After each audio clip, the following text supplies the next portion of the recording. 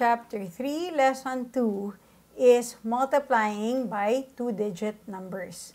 So it's now getting harder. Okay, so which means again, we need to remember our all our multiplication tables. We have to also remember that if it's computational math, we can actually just write it horizontally. But if it can't be done with a head, then that means it's computational. So that means we have to write it vertically. Okay, so um, again, we need to remember our pairings. So 9 and 1, 8 and 2, 7 and 3, 6 and 4, and 5 and 5. So these are very important. Okay, so um, the first set of problems that I will be discussing deals with zeros. And the second set of problems that I will be discussing have no zeros. Okay, so the thought process is slightly different. So again, when there are zeros, what we want to do is multiply without the zeros and then just put the zeros in the end. So to demonstrate these, these are on page 58. Okay.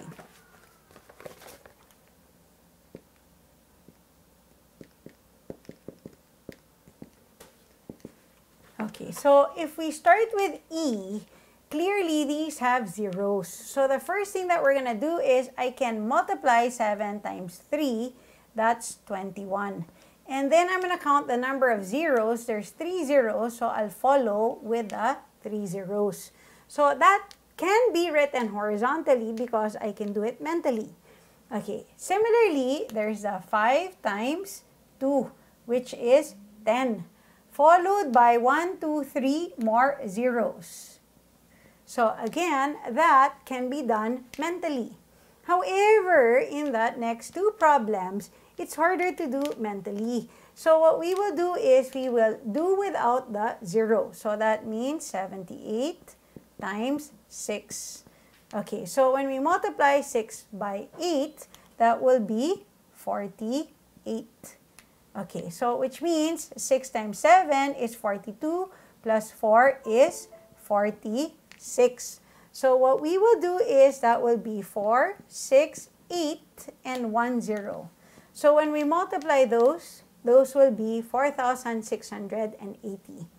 Okay, and finally, for this set of problems, I can't do that mentally, so I'll take 169 times 2. Okay, so that will be 18. Carry the 1. That will be 2 times 6 is 12 plus 1 is 13. Carry the 1. And that will be 3. So which means our final answer will be 338 with an additional 0 making it 3,380. So again, the process when there's 0 is slightly different when there's no zeros which I will show shortly. Continuing on to page 62, it says multiply.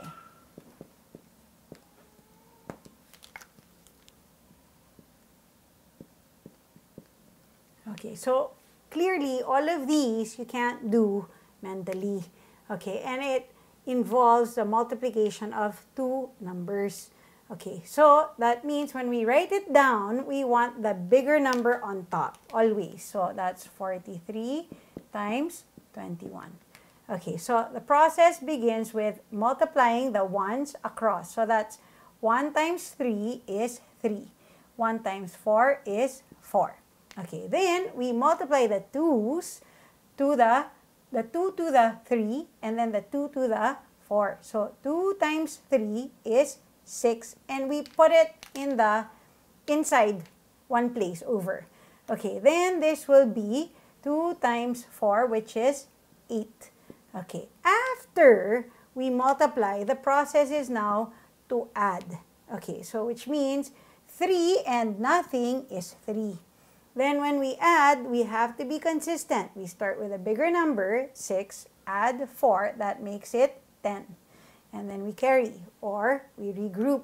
So therefore, this is 9. So when we multiply 43 by 21, the product is 903. Okay, for letter F, it says to multiply 56 by 124. So again, for consistency, we start with the bigger number on top multiplied by 56. So we start the ones digit, we multiply, so that means this will be 6 times 4 is 24. Okay, then this will be 6 times 2 is 12 plus 2 is 14. Okay, then 6 times 1 is 6 plus 1 is 7. Okay, so if your kids are on the careless side, my suggestion is cancel those so that the new regrouping will not confuse the kids. Okay, so again, now we take the tens and we multiply. So that's why we can't start with underneath the 4. It has to start on the tens place. Okay, so that means this is 5 times 4 is 20. Carry 2. 5 times 2 is 10 plus the 2 is 12. Okay, and 5 times 1 is 5 plus 1 is 6. Okay, and then again we add. So when we add, this is 4, 4, 9, and 6. So the product of 56 and 124 is 6,944.